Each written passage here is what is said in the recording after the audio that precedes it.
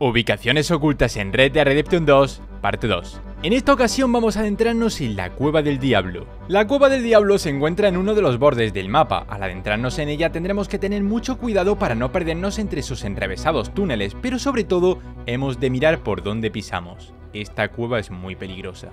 Al llegar a la sala central, una voz nos dirá que nos vayamos, que quiere estar solo, y será entonces cuando de una especie de balcón veamos asomar a un hombre con una apariencia muy extraña. Este, además de seguir insistiendo en que lo dejemos solo, nos dirá que es el mal, y nos confesará que él es el mismísimo diablo. Incluso si conseguimos subir ahí arriba, veremos que tiene una especie de hoguera o pozo con lava, aunque no se puede reconocer por su alto brillo. Pero la realidad es que solo es un ermitaño loco como tantos otros que hemos encontrado a lo largo y ancho del mapa. Recuerda seguirme para más contenido interesante.